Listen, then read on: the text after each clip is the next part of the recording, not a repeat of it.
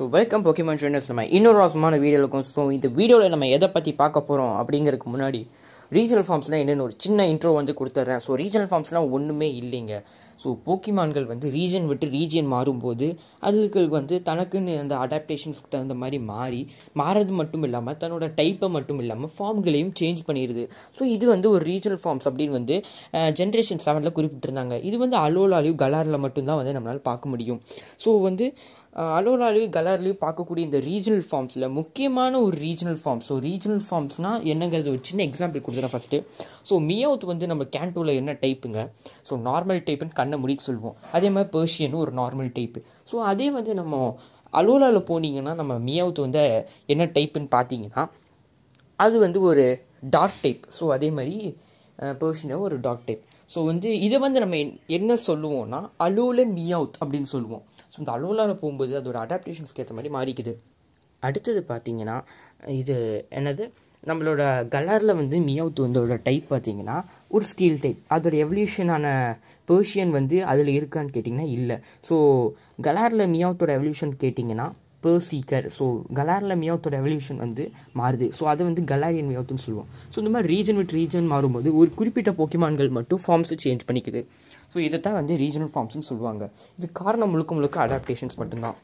So வந்து நம்ம next இந்த வீடியோவில் வந்து இந்த வீடியோவில் நம்ம என்ன பார்க்க போகிறோன்னா அப்படி ரீஜனல் ஃபார்ம்ஸு கொண்ட ஒரு மூணு லெஜெண்டரி போக்கிமான்களை பற்றி பார்க்க போகிறோம் ஸோ அந்த மூணு லெஜெண்டரிகள் யாருன்னு கேட்குறீங்கன்னா நம்மளோட ஆர்டிகனோ மோல்ட்ரஸ் மற்றும் ஜாப்டாஸ் ஸோ இதை வந்து லெஜெண்டரி ட்ரீயோன்னு ஷார்ட்டாக சொல்லுவோம் ஸோ இது வந்து கேண்டோவில் ஃபஸ்ட் ஃபஸ்ட் இன்ட்ரடியூஸ் பண்ணப்பட்ட லெஜெண்டரி போக்கிமான்கள் ஸோ இந்த போக்கிமான்களுக்கு வந்து ரீஜனல் ஃபார்ம்ஸ் வந்து கலாரில் கொடுத்துருக்காங்க. ஸோ அதுக்கோட பேர்கள் என்ன? அதோட டைப்ஸ் என்ன? அதில் என்ன மாற்றங்கள்? அப்படின்னு சொல்லி டீட்டெயில்டாக பார்க்கலாம். வாங்க ஸோ அதன்படி பார்க்க போகிறோம்னா நம்ம ஃபஸ்ட்டு பார்க்கக்கூடிய போக்கிமான் கலாரியன் ஆர்டிகோனோ ஸோ ஆர்டிகோனோக்கு வந்து எப்படி வந்து ரீஜனல் ஃபார்ம் கிடச்சிது? ஸோ வந்து இந்த மாதிரி லெஜெண்டரி ட்ரையோக்கு வந்து ஏன் ரீஜனல் ஃபார்ம் கிடச்சிது அப்படின்னு பார்த்தீங்கன்னா அதுக்கு ஒரு முக்கியமான காரணம் இருக்குது. ஏன்னா நம்ம வந்து இந்த லெஜெண்டரி ட்ரையோவான ஆர்டிகோனோ மோல்ட்ரஸ் ஜாப்டாஸை நம்ம கேண்டோவில் மட்டும் இல்லை மற்ற ரீஜன்களையும் பார்த்துருக்கோம். ஸோ கேலோஸ்லேயும் காமிச்சிருக்காங்க. ஸோ ஜோட்டோலேயும் காமிச்சிருக்காங்க. ஸோ வந்து நிறைய ரீஜனில் காமிச்சிருக்காங்க. ஸோ இது காரணம் வந்து முற்றிலும் வந்து இந்த மூணு போக்கிமான்களுமே வந்து ஒரு மைக்ரேட்ரி போக்கிமான். ஸோ மைக்ரேஷன்னா உங்களுக்கு என்னன்னு தெரியும்னு நினைக்கிறேன். தெரியாதவங்களுக்கு இப்போ நான் சொல்கிறேன் ஸோ மைக்ரேஷன்னா இடம் விட்டு இடம் மாறுறது. ஸோ இந்த போக்கிமான்கள் வந்து ரீஜியன் விட்டு ரீஜியன் வந்து மாறி மாறி போயிட்டு இருந்திருக்கு. ஸோ அப்படி வந்து கலாரியன் ரீஜியனுக்கு போ கலார் ரீஜியனுக்கு போகும்போது அங்கே இருக்கிற அடாப்டேஷன்ஸ்க்கு காரணமாக அந்த போக்கிமான்கள் அதாவது மெயினாக crown tundra so crown tundra அப்படின்னு இருக்கக்கூடிய அந்த இடத்துல இருக்கக்கூடிய அந்த அடாப்டேஷன்ஸ் காரணமாக அந்த போக்கிமான்களுக்கு வந்து கலாரியன் ஃபார்ம்ஸ் வந்து கிடச்சிருக்குது. ஸோ இது வந்து மெயின் காரணம் அப்படின்னு பார்த்தி பார்த்தீங்கன்னா இதுதான். ஸோ வந்து இது வந்து என்னோட தியரி ஸோ வந்து இது வந்து போக்கிமான்களில் வந்து சொல்லப்படல. ஸோ வந்து போக்கிமானில் சொ போக்கிமான் கேம்லேயோ இல்லை போக்கிமான் சீரீஸ்லேயோ வந்து இதை பற்றி சொல்லப்படல. பட் என்னோட தியரி வந்து இதுதான். ஸோ இந்த கலாரியன் ஆட்டிக்குனோ அப்படின்னு பார்த்தீங்கன்னா இதுவும் வந்து ஒரு மைக்ரேட்டரி போக்கியமான் ஸோ நம்ம ஆட்டிக்குனோட டைப் வந்து மாறிடுச்சு. ஆமாங்க. ஸோ ஆட்டிக்குனோ வந்து ஒரு டைப் பார்த்தீங்கன்னா ஒரு flying and ice type so இந்த கலாரியன் ஆட்டிக்குனோட டைப் பார்த்தீங்கன்னா ஒரு psychic and flying type so Galarian ஆட்டிக்குனோக்கும் ஆட்டிக்குனோக்கும் என்ன வித்தியாசம் அப்படின்னு பார்த்தீங்கன்னா டைப் மட்டும் இல்லை எபிலிட்டி ஸோ எபிலிட்டியும் வந்து வித்தியாசம். ஸோ இது என்ன எபிலிட்டி அப்படின்னு சொல்லி கிளியராக மென்ஷன் பண்ணப்படல. ஸோ வந்து அது வந்தோடனே வந்து உங்களுக்கு என்ன எபிலிட்டின்னு சொல்லிடுறேன். ஸோ வந்து அதுக்கப்புறம் இன்னொரு முக்கியமான வித்தியாசம் அப்படின்னு பார்த்தீங்கன்னா வித்தியாசம் இல்லை ஒரு எப்படி சொல்கிறது ஒரு கான்ட்ராஸ்ட் ஸோ ரெண்டு பொக்கிமானுக்கும் வந்து வந்து என்ன வந்து ஈக்குவலாக இருக்குது அப்படின்னு சொல்லி பார்த்தீங்கன்னா ரெண்டு எது வந்து ஈக்குவல் ஸோ ஈக்குவலாக இருக்குது அப்படின்னு சொல்லி பார்த்தீங்கன்னா அது பேர் வந்து போக்கிமான்களோட பர்சனாலிட்டி ஸோ போக்கிமான்களோட பர்சனாலிட்டி வந்து மாறவே மாறவில்லை ஸோ ஆர்டிகுனோ கலாரியன் ஆர்டிகோ ரெண்டுமே வந்து ஒரு கோல்ட் அண்ட் காமான ஒரு பர்சனாலிட்டி வந்து கொடுத்துருக்காங்க. ஸோ ரெண்டுமே வந்து ஒரே பர்சனாலிட்டி ஸோ இந்த கலாரியன் ஆர்டிகுனோட சைக்கிக் பவர் எந்த அளவுக்கு இருக்குன்னு சொல்கிறாங்கன்னா இது வந்து காற்றுலேயே தான் பறந்துக்கிட்டே இருக்குமாமா. ஸோ காற்றுலேயே தான் பறந்துகிட்டே இருக்கும்னா அப்புறம் கை ரெக்க வலிக்காதராடா ரெக்க அதுக்கு வந்து வலிக்காதா அப்படின்னு கேட்டிங்கன்னா அது ரெக்கையே ஆட்டவே ஆட்டாதாமா. முழுக்க முழுக்க அதோட சைக்கிக் பவர்ஸை யூஸ் பண்ணி மட்டுமே வந்து பற பறந்துட்டு இருக்குமாமா. ஸோ ஆர்டிகோனோட ஒரிஜினல் டைப்பான ஐஸ் டைப்பை வந்து இதில் வந்து கொஞ்சம் டீஸ் பண்ணியிருக்காங்க. டீஸ் பண்ணிக்கிறதுங்கிறத விட வந்து கொஞ்சம் காமிச்சிருக்காங்க. ஏன்னா அதுக்கு வந்து முக்கியத்துவம் கொடுத்துருக்காங்க.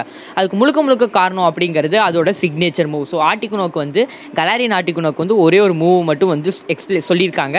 ஸோ மிச்ச மூவ்ஸ்லாம் வந்து பின்னாடி வந்து தெரிய வரும். அது தெரிஞ்ச வந்தோடனே உங்களுக்கு வந்து நான் நிச்சயமாக வந்து அப்டேட் பண்ணுறேன் ஸோ வந்து ஆர்டிகுனோக்கு வந்து சிக்னேச்சர் மூவ் அப்படின்னு பார்த்தீங்கன்னா freezing glare so freezing glare அப்படின்னாலே வந்து கேட்டாலே வந்து ஃப்ரீசிங் ஸோ கண்டிப்பாக வந்து ஃப்ரோசிங் அதாவது அதாவது அந்த ஆப்னன்ட் போக்கிமான் வந்து ஃப்ரோஸ் ஆயிரும். கண்டிப்பாக வந்து அது ஐஸ் ஐஸாக மாறிடும் அதில் வந்து எந்த மாற்றமும் இல்லை. ஸோ இதோட அட்டாக் அப்படி என்னன்னு பார்த்தீங்கன்னா சூப்பர்மேன் மாதிரி ரெண்டு கண்ணில் இருந்தும் வந்து சைக்கிக் பவர்ஸ் வந்து வெளிப்படும். ஸோ இதோட சைக்கிக் பவர்ஸோட அட்டாக் எப்படி இருக்கும் அப்படின்னு கேட்டிங்கன்னா இதோட சைக்கிக் பவர்ஸ் வந்து எப்போவுமே வந்து நம்ம ஏதாவது போக்கிமான் மேலே அட்டாக் யூஸ் பண்ணோம்னா அந்த போக்கிமானோட பாடியில் தான் போய் காண்டாக்ட் ஆகும். பட் இந்த ஆர்டிக்னோட சைக்கிக் பவர்ஸ் அதாவது கண்ணிலேருந்து வெளிப்படக்கூடிய இந்த பீம் வந்து போக்கிமான்களோட செல்ஸ் போக்கிமான் மட்டும் இல்லை லிவிங் பீயிங்ஸோட செல்ஸில் போய் டேரெக்டாக காண்டாக்ட் ஆகுமா? ஸோ செல்ஸில் காண்டாக்ட் ஆனால் எந்த அளவுக்கு வந்து பாதிப்பு ஏற்படும் அப்படின்னு கேட்டுக்கோங்க. ஸோ இதுலேருந்தே தெரியுது இது ஒரு ஆக்கிரமா ஆக்ரோஷமான போக்கிமான். பார்க்க வந்து கோல்டன் காமாக இருந்ததுன்னா இது ரொம்ப ஆக்ரோஷமான போக்கிமான். ஸோ வந்து இந்த போக்கிமான் வந்து நம்ம கலாரியன் ஆட்டிக்கோனோக்கு வந்து ஒரு மிகப்பெரிய ஒரு அட்வான்டேஜ்னே சொல்லலாம். ஸோ வாங்க நம்ம நெக்ஸ்ட் என்னங்கிறத பார்த்தோம் நம்ம நெக்ஸ்ட் என்ன போக்கிமானை பற்றி பார்க்க போகிறோம் அப்படிங்கிறதுக்கு முன்னாடி ஒரு முக்கியமான விஷயத்தை பற்றி பார்த்துடலாம். ஸோ என்னன்னா இந்த லெஜண்ட் ட்ரியோஸ் வந்து எப்போவுமே கலாரில் இருக்கவே இருக்காது. ஸோ மெயினாக வந்து ஒரே ஒரு இடத்துல மட்டும்தான் மக்களுக்கு கண்ணில் தெரியப்பட்டிருக்கு. ஸோ அந்த இடம் என்னன்னு பார்த்தீங்கன்னா crown tundra so crown tundra அப்படிங்கிற அந்த ஒரு ஐலாண்டில் தான் வந்து கலாரி இந்த மூணு கலாரியன் போக்கிமான்களையும் வந்து பார்க்குறாங்க. ஸோ மூணு கலாரியன் லெஜண்டரி போக்கிமான்களையும் வந்து பார்க்குறாங்க. ஸோ இது எப்போ பார்ப்பாங்கன்னா பத்து வருஷத்துக்கு ஒரு முறை. ஸோ பத்து வருஷத்துக்கு முன்னே ஒரு முறை தான் வந்து அப்பியர் ஆகும்.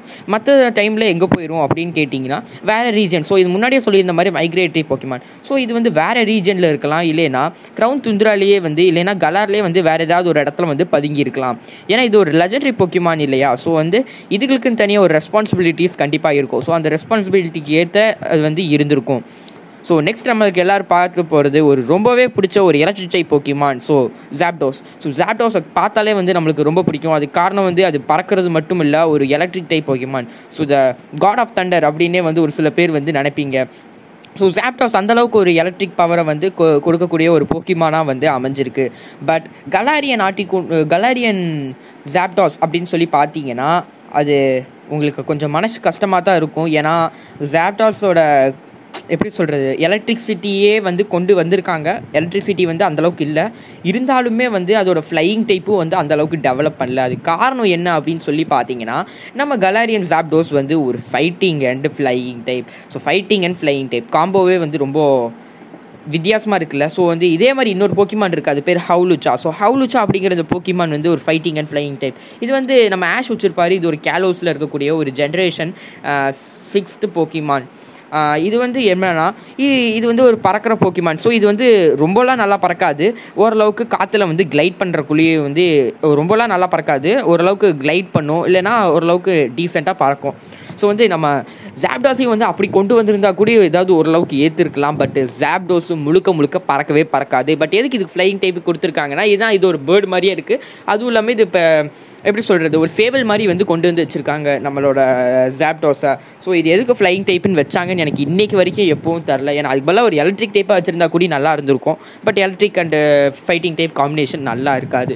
ஸோ வந்து ஏன் இது பறக்காது அப்படின்னு கேட்டிங்கன்னா இது மு- அதுக்கு வந்து அந்தளவுக்கு வந்து ரக்கைகள் பெருசாக இருக்காது. ஆமாம் ஸோ வந்து ஜாப்டாஸ் மாதிரி அப்படியே கோடு கோடாக கோடு கோடாக பெருசாக வந்து இருக்காது. ஸோ வந்து குட்டியான ரக்கைகள் தான் இருக்கும். அதன் அது மூலமாக அதனால் வந்து அவ்வளோ ஸ்பீடாக வந்து பறக்கவும் முடியாது. ஸோ வந்து பறக்கவே முடியாதுன்னு தான் சொல்லுவாங்க. ஸோ வந்து இந்த போக்கிமானோட பவர் என்ன அப்படின்னு பார்த்தீங்கன்னா இது ஒரு மைட்டி போக்கிமான் அப்படின்னு வந்து சொல்கிறாங்க இதுக்கு முழுக்க முழுக்க காரணம் என்ன அப்படின்னு கேட்டிங்கன்னா இந்த போக்கிமான் வந்து தனக்கு அதாவது எந்த போக்கிமான் வந்து ஆப்பனண்ட்டில் சேலஞ்ச் பண்ணாலுமே அந்த போக்கிமான் வந்து இது வந்து ஐ மீன் இப்போ வந்து ஒரு போக்கிமான் வந்து நம்ம சாப்டோஸை சேலஞ்ச் பண்ணுது. சரி உதாரணத்துக்கு நம்ம ஒரு போக்கிமான் எடுத்துக்கலாம். ஸோ எது ஒரு ஃபைட்டிங் டைப் அப்படின்னு கேட்டிங்கன்னா ஒரு match up so match up வந்து நம்மளோட கேரடோஸோ சி கேரடோஸுங்கிற மாதிரி நம்மளோட கலாரியன் ஜாப்டோஸை வந்து சேலஞ்ச் பண்ணுது ஒரு ஃபைட்டுக்கு ஸோ ஜாப்டோஸ் வந்து மேட்ச் ஆம்பை தன்னை விட மிக சிறந்தது அப்படின்னு நினச்சிதுன்னா உடனே சேலஞ்ச் அக்செப்ட் பண்ணிடுமாமாங்க ஏன்னா இது எப்போவுமே வந்து மைட்டி அப்பனன்ஸை தேடி போயிட்டே இருக்குமாமா ஸோ இதை விட சக்தி வாய்ந்த அப்பனன்ஸ் யாராவது இந்த உலகத்தில் இருக்காங்களா இருக்காங்களா இருக்காங்களான்னு சொல்லி சொல்லி தேடிக்கிட்டே இருக்குமாமா அதுக்கு காரணம் வந்து இந்த போக்கிமான் வந்து சண்டை போடுறதுக்கு அவ்வளோ விரும்புமாமா ஸோ வந்து அதனால் இப்போ ஒரு மேட்ச் அப் வந்து அதை என்ன சொல்கிறது சவாலுக்கு கூப்பிடுதுன்னா அது வந்து இந்த மேட்ச் ஆப் வந்து ஜாப்டோஸோட பவர் அப்படின்னு ஜாப்டோஸ் நினச்சதுன்னா உடனே களத்தில் இறங்கிடுமாமா. ஸோ இது வந்து தன்னோட ரெண்டு கால் மூலமாக பவர்ஃபுல்லான கிக்ஸை வந்து வெளிப்படுத்துமாமா. ஸோ வந்து பவர்ஃபுல்லான கிக்ஸ் அப்படின்னு சொல்லி கேட்டிங்கன்னா அதுக்கு வந்து ஒரு மைட்டியான ஒரு மூவ் இருக்குது ஸோ இதோட சிக்னேச்சர் மூவ் ஸோ இதோட ஒரு ஒரே ஒரு மூவ் மட்டும்தான் சொல்லியிருக்காங்க. அந்த மூவ் பேர் என்னென்னா thunderous kick so thunderous kick அப்படின்னு கேட்டிங்கன்னா அதோட கால்களை வந்து ஒரு லைட்னிங் மாதிரி ஸோ லைட்னிங் மேகத்துலேருந்து கீழே இறங்குச்சுன்னா எப்படி இருக்குங்க? அந்த மாதிரி ஒரு ஸ்பீடோட போய் ஆப்பனன்ஸில் பவர்ஃபுல்லாக ஒரு கிக் பண்ணுமாமா. ஸோ இது மூலமாக அந்த ஆப்பனன்ஸ்க்கு பேரலைஸ் ஆகுமா அப்படின்னு கேட்டிங்கன்னா ஆகாது. பேர் வந்து தண்டர்ஸ் கிக் அது காரணம் வந்து இது ஒரு தண்டர் மாதிரியே இருக்கிறனால. ஸோ வந்து அந்த அட்டாக் வந்து அந்தளவுக்கு பவர்ஃபுல்லாக இருக்கிறனால இது வந்து தண்டர் ஸ்டிக்னு சொல்லிக்குவாங்க. ஸோ ஃபைட்டிங் டைப்பில் இது ஒரு பவர்ஃபுல்லான மூவ் அப்படின்னு வந்து நம்ம எடுத்துக்கலாம். ஸோ வந்து இந்த போக்கிமானோட மூமெண்ட்ஸ் எப்படி இருக்குன்னு சொன்னீங்கன்னா லைட்னிங் மாதிரியே இருக்குமாமா ஸோ இந்த போக்கிமான் ஜிக்ஸாக்காக தான் மூவ் பண்ணும் அப்படின்னு சொல்லியிருக்காங்க. ஸோ இது மலையிலேருந்து கீழே இறங்கும்போது பார்த்தீங்கன்னா ஏதோ தன் லைட்னிங் வந்து இப்படி மேகத்துலேருந்து கீழே இறங்குற மாதிரியே இருக்கும் அப்படின்னு சொல்லியும் வந்து விவரிச்சிருக்காங்க. ஸோ இது வந்து ஒரு எலக்ட்ரிக் டைப் அதாவது இந்த ஜாப்டாப்ஸோட அந்த எலக்ட்ரிக்கோட இதை வந்து கொஞ்சம் கம்பேர் பண்ணி காமிச்சிருக்காங்க. ஸோ நெக்ஸ்ட் என்ன போக்கிமான் லாஸ்ட் அண்ட் ஃபைனலாக பார்க்கக்கூடிய போக்கிமான் என்னன்னு கேட்டிங்கன்னா ஸோ எல்லாத்துக்குமே தெரிஞ்சது தான் இது வந்து மோல்ட்ரஸ் ஸோ கலாரியன் மோல்ட்ரஸை பற்றி நம்ம பார்க்க போகிறோம் ஸோ கலாரியன் மோல்ட்ரஸ்னோடய உங்களுக்கே தெரியும். கண்டிப்பாக இதில் வந்து ஒரு பவர்ஃபுல்லான ஒரு ஸோ வந்து இது வந்து ஒரு ஃபயர் டை ஃபயர் டைப்பாக இருக்காது அப்படிங்கிறது எல்லாத்துக்குமே தெரிஞ்சிடும். ஏன்னா இதுக்கு முன்னாடி இருந்த ரெண்டு டைப்புமே வந்து அதுகளோட ஒரிஜினல் டைப்ஸை வந்து பேஸ் பண்ணல. ஸோ ஃப்ளையிங் மட்டும்தான் வந்து காமனாக வச்சுருந்தாங்க.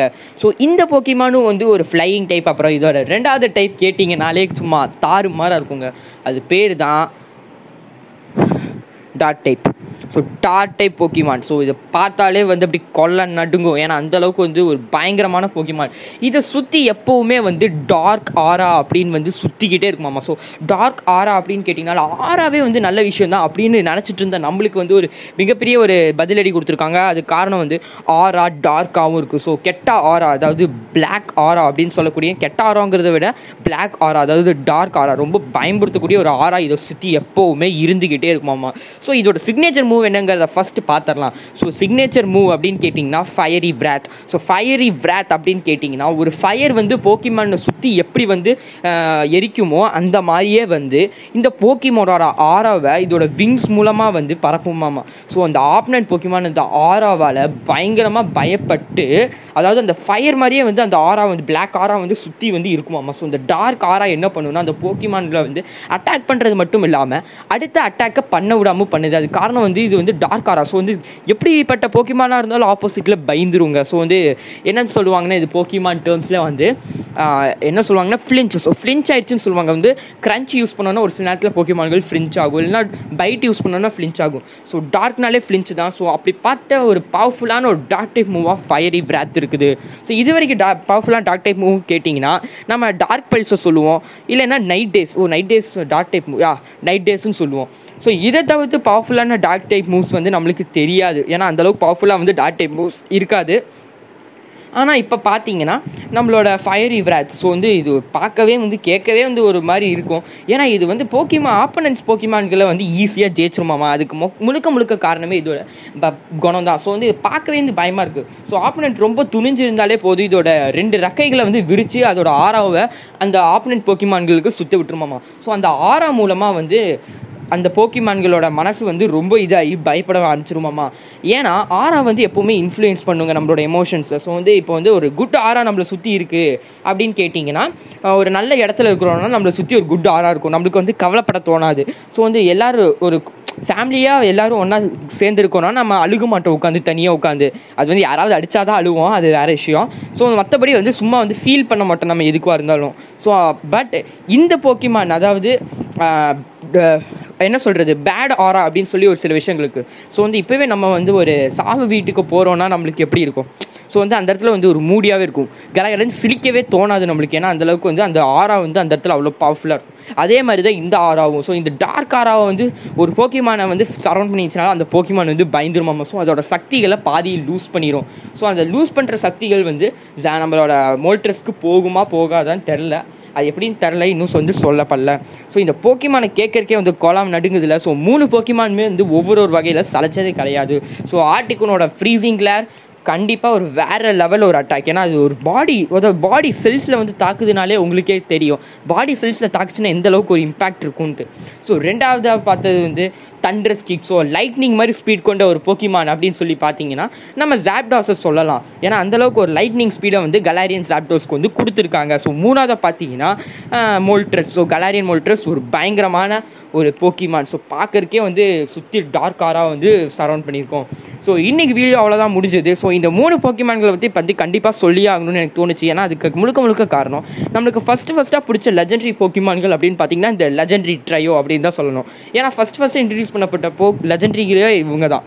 அவங்க வந்து கேலே ஜாப்டாஸ் மொல்ட்ரஸ் ஆட்டிக்கணும். ஸோ அவங்களோட கலாரியன் வேரியன்ஸை வந்து நம்மளுக்கு அவங்களோட ரீஜனல் வேரியன்ஸை வந்து நம்மளுக்கு கலாரில் வந்து ஃபஸ்ட் ஃபஸ்ட்டாக காமிச்சிருக்காங்க.